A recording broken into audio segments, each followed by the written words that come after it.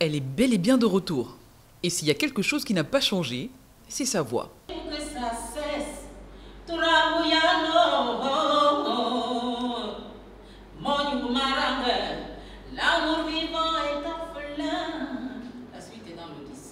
Après une absence qui s'est faite remarquer par ses mélomanes, Annie-Flore Bachilélis confie les raisons de son retrait scénique.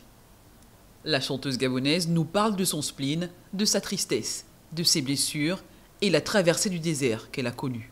Je suis prête à reprendre euh, cette voie de, concert, de disque, etc. J'ai eu dix ans de pause aussi, c'est se reposer. Et surtout avec euh, ce nouveau métier qui m'accorde énormément, j'ai tous les outils pour reprendre euh, ce chemin que j'avais laissé en 2019. Ce neuvième opus intitulé Fundu, en langue ipuno qui signifie en français concertation au conclave, compte neuf titres, allant de l'amour, le pardon, le partage. Annie Flore a dû puiser en elle une force authentique et prendre le risque de se remettre à nu pour affronter ses démons. C'est un album qui, qui vient faire taire euh, toutes les personnes que j'ai manquées.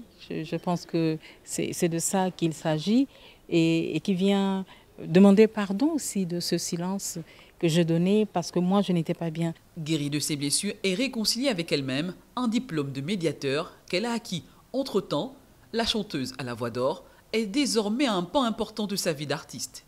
Cet album est un message d'amour envers sa tradition, ses rencontres, mais surtout son pays le Gabon. En concert ce samedi, elle invite ses fans à venir bâtir l'Élysée avec elle.